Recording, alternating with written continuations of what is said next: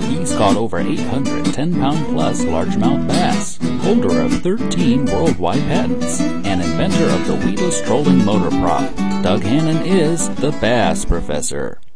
When we're talking about seasons of the year, remember you have to consider whether it's a transition season like spring and fall or whether it is a season of stability like winter and summer when things tend to get static and the bass get predictable. The unfortunate thing about winter, of course, is it's so cold that metabolisms of fish slow way down. And you know, when I was wish, working uh, around Busch Gardens, for instance, and, and we had to feed all these animals.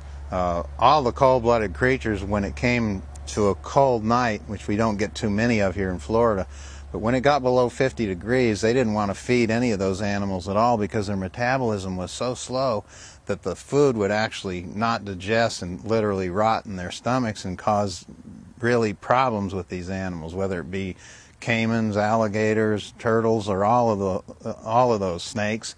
So the basic thing to remember is metabolism goes way down in summer. And the fish won't naturally feed. They're slow, they're torpid, plus they move out to areas where they really just need to hold and keep the weather off their back.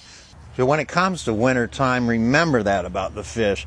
They don't need to feed, and fish will regulate themselves, you know, and they pretty much decide that by the circumstances in which they put themselves. They put themselves in a position where there's not much food, where the food items are much smaller as well. You know, when you go deep, they end up leaving the areas of shallows where there's abundance of cover and food and going into steep drops, holding on rock, actually holding on fish themselves. You know, the tiniest piece of structure will hold them, but generally just another bass is enough structure. So they tend to group and they tend to just hang out and they can go weeks literally without feeding. So they're waiting for an opportunity to come. When it comes, they will feed, and if you fish the vertical lures, the little silver spoons, and flip them out and let them drop and jig them all the way down at different depths, or go out on these ledges at the end of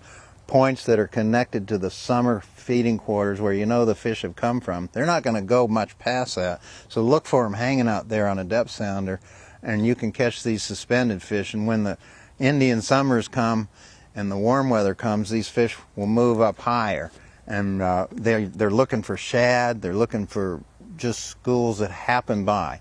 And that's the way they feed. So with your winter fish, remember, slow, vertical, and small lures, and that's where you'll catch your biggest fish. And some of the biggest fish are caught in the winter because guess what? They've already stored a whole summer worth of fat to get through that time. So uh, you can get some really big fish on those winter days. Just be patient, and uh, if you can stand it out there in the cold, bundle up and go get them. If you've enjoyed today's edition as much as I have being here for you, then don't forget, click on that button and send this to a friend.